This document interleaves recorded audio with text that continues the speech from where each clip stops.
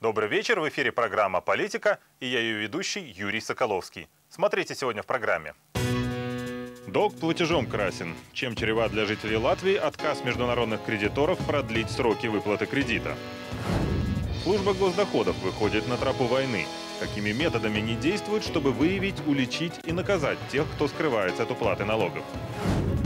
У тех, кто вышел на пенсию в этом году, она будет на 20% ниже, чем у тех, кто стал пенсионером в прошлом году. Как так получилось и чего ждать будущим пенсионерам? На этой неделе министр финансов Латвии Андрис Вилкс признал, что международные кредиторы не продлят сроки возвращения кредитов. Он заявил, что нет смысла даже пытаться начать переговоры по этому поводу. Судя по всему, кредиторы послали правительству очень четкий сигнал. Отдавать придется все и в те сроки, которые были оговорены при получении кредита. Что это означает для жителей Латвии? Для того, чтобы осознать последствия этого события, надо понять, о чем идет речь. Европейская комиссия и Международный валютный фонд в годы кризиса одолжили правительству миллиарды евро.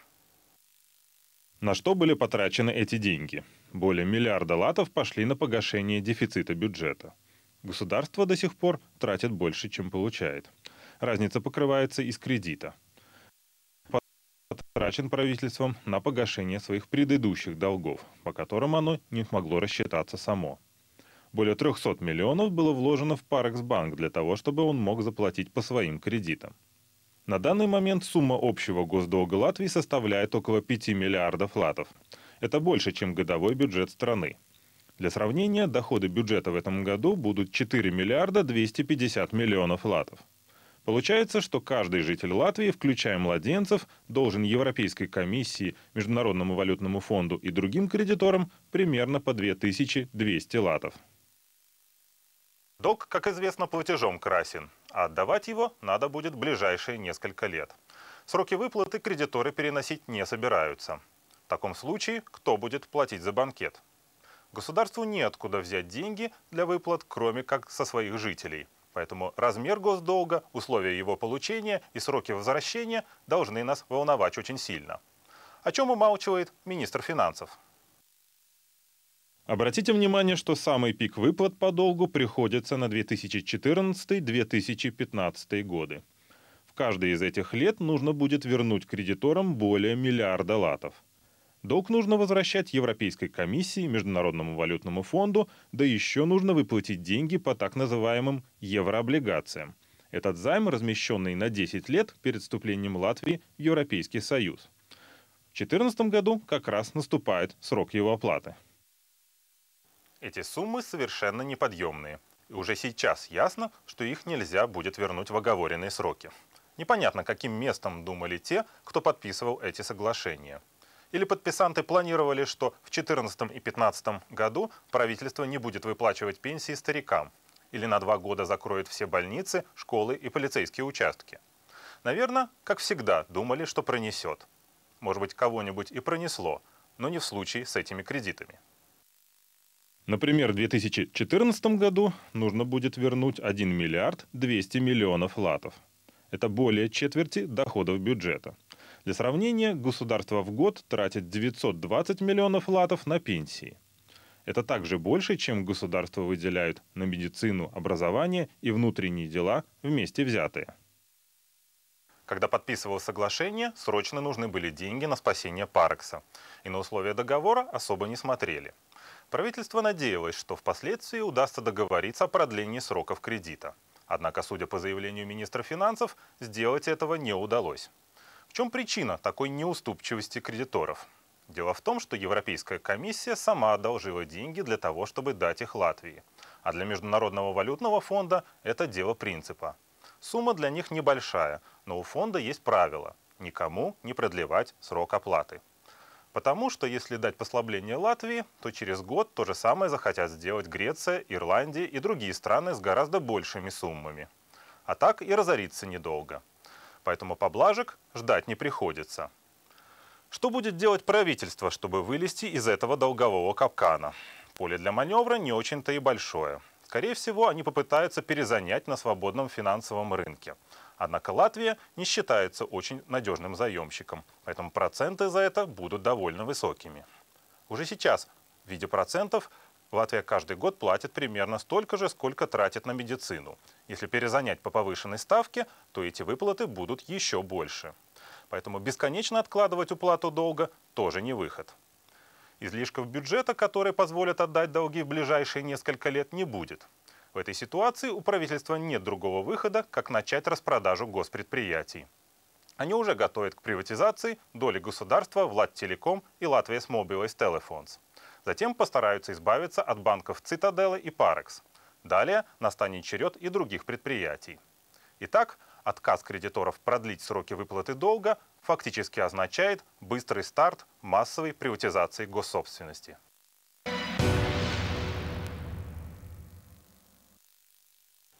Когда у министров спрашивают, за счет чего будут увеличены поступления в бюджет, то первым номером всегда называется борьба с теневой экономикой.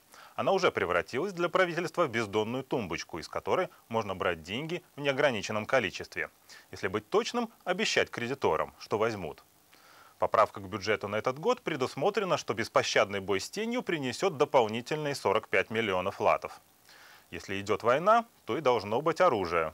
Причем оно должно отличаться от всего того, что было раньше. Иначе с чего получится такой выдающийся прогресс? Этим супероружием стал план Министерства финансов по борьбе с теневой экономикой. С чем служба госдоходов идет на неплательщика налогов, выясняла Светлана Пунте. В результате борьбы с теневой экономикой правительство в том году собирается дополнительно получить 45 миллионов латов. В качестве оружия службе госдоходов предоставлен специальный план по борьбе с теневой экономикой. Он состоит из 60 разных мероприятий. Одно из самых популярных мероприятий – это налоговая амнистия, которую сейчас активно обсуждает правительство. Если человек заплатит свой основной долг, государство пойдет ему навстречу и погасит за него 90% штрафа и пени. Также очень эффективной будет и введение нулевой декларации. Служба государственных доходов также планирует наступать на теневую экономику по многим фронтам. Например, они начали сотрудничать с ассоциациями. Представители ассоциаций могут пожаловаться на фирмы, которые, например, занимаются демпингом на рынке определенных услуг. А вдруг их низкая цена гарантирована из-за зарплат, выплачиваемых работникам в конвертах. Также СГД будет следить и за гастарбайтерами.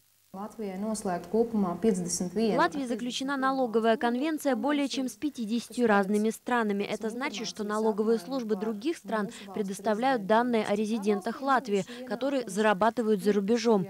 Также есть и автоматические системы обмена данными, которые обновляются ежегодно.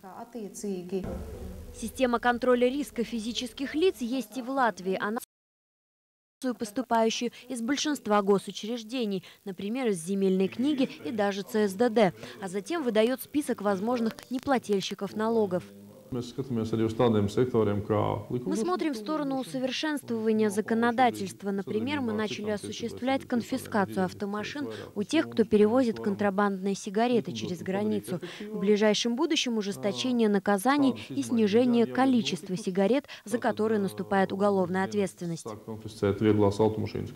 Но в целом представители СГД признают, ничего радикально нового никто не придумал. Как они сами говорят, они просто начали бежать марафон в спринтерском режиме. Есть в этом плане и практически мертвые мероприятия, например, под номером 54. Его цель – бороться с нелегальными перевозками. Для этого контролеры из автотранспортной инспекции с 1 апреля должны были переодеться в штатское, слиться с обычными клиентами маршруток и следить, выдает ли водитель билеты каждому, кто за них заплатил. Но вот незадача. Именно с 1 апреля инспекция автотранспорта была ликвидирована. Ее начальник уволен, а все функции переданы государственной полиции. Огромную часть плана составляют создание информативных стендов и буклета о том, как информировать работников госучреждений о нарушениях, налаживание коммуникации с населением и круглые столы специалистов. Часть является из района, э, что там мы будем работать лучше, эффективнее и так далее, что ну, всегда приветствуется, но не очень конкретно. А, я думаю, что основные, основные три момента – это первое – создание так называемого белого списка, второе – это налоговая амнистия, и третье – это введение нулевой декларации. Скорее всего, это ограничится формальным проведением проверок, отчетами о том, что эта борьба велась. Это понимают ну, не только эксперты, но и международные кредиторы, когда правительство в рамках э, плана консолидации 50 миллионов заявило о том, что оно обеспечит наполовину вот эту консолидацию за счет борьбы с теневой экономикой. Международные кредиторы э, так мило улыбнулись и сказали, хорошо, хорошо, но в дополнение к этому все равно 50 миллионов еще надо собрать.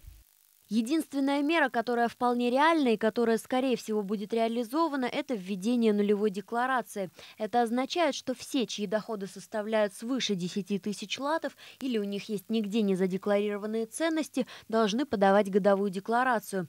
Это позволит остановить уклонение от уплаты налогов, но также приведет к реальному увеличению налоговой нагрузки. Александр Гапоненко заявляет, к борьбе с теневой экономикой надо было подходить совсем с другой стороны и прежде всего разобраться в причинах ее возникновения. Латвийским предпринимателям не по силам налоговое бремя, ведь налог на рабочую силу в Латвии один из самых высоких в Европе. При этом деньги, которые с этих налогов собираются, не используются на развитие бизнеса. Финансовый аналитик Гирц Рунгайнис поддерживает эту точку зрения, при этом добавляя, нужно резко поднимать НДС и налог на недвижимость недвижимость. Надо было бы э, ужесточить э, собирание налогов, но одновременно э, и, и с тем, чтобы значительно понизить налоги на рабочую силу. И тогда, как понизили, с одной стороны, дали возможность создавать рабочие места и платить налоги, потому что он соответствует тому, что можно реально заплатить. А с другой стороны, тогда уже ну, за то, что не платят, как-то более жестко подходить к этому, и чтобы была ответственность у предпринимателей. Также, говорит Рунгайнис, неплохо было бы ввести систему, которая хорошо работает по всей Европе, то есть поощрять людей стучать друг на друга. При этом гарантировать человеку за достоверную информацию двухгодичный заработок, чтобы никто не боялся звонить по телефону доверия. Купил сосед дорогую машину, позвони и проверь, в курсе ли налоговики. Экономист Вячеслав Домбровский предостерегает понижение налога на рабочую силу – палка о двух концах. Это требует фундаментальной перестройки всей системы налогообложения, для чего нужно иметь определенную смелость. Проблема с этим заключается в том, что, а, как ни странно, вот этот вот социальный налог и подоходность населения, они одни из наиболее а, собираемых. То есть снижение этих налогов даже на 1% пункт чревато там падением доходов бюджета где-то на десятки миллионов платов. Да. То есть социальный налог, ясно, что он привязан к социальному бюджету, где находятся те же пенсии, а, пособия по безработице, мамины зарплаты и так далее, и так далее. То есть если мы сокращаем социальный налог на столь значительную сумму, значит мы должны искать, где эти остальные деньги найти. Многие сходятся в одном. Одними репрессиями, не дав людям ничего взамен, сбор налогов не увеличишь. Светлана Пунта, Вадим Петрушев, Алан Пушкориус, телекомпания ТВ5. Платить налоги не нравится никому. Однако, если будут решены несколько застарелых проблем, то есть хороший шанс преуспеть в борьбе с теневой экономикой и без террора. Сейчас в обществе сформировалось терпимое отношение к неуплате налогов. И у этого есть свои объективные причины. Попробуем их сформулировать. Во-первых, это отсутствие открытости в госструктурах. Люди не получают достоверную информацию о том, как тратятся их налоги. Вы вряд ли отдадите деньги